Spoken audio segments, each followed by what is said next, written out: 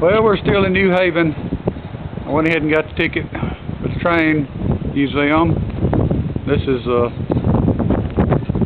one of the uh, steam engines that they have here, which is the 2716. This is a huge train engine. It's just hard to uh, really imagine the size of this thing.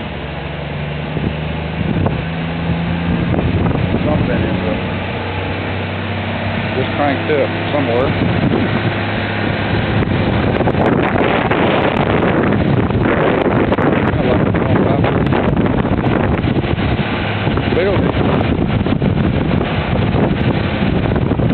But it must be uh, on the other side of this, I guess.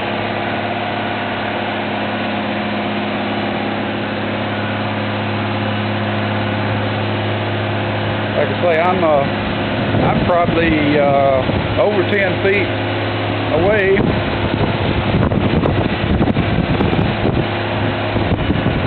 Just kind of get a idea without anybody standing over there. You can't really gauge it too well, but uh, it's big, to say the least.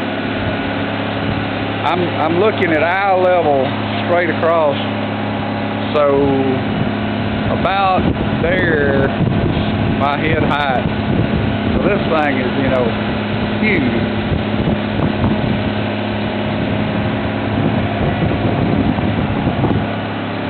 Humongous. There's another little train sitting across over here which is about the size of a yard train you might say. But uh, I guess that's a lawnmower or something over there, cranked up, making a lot of racket. No, that's a little engine there you can see.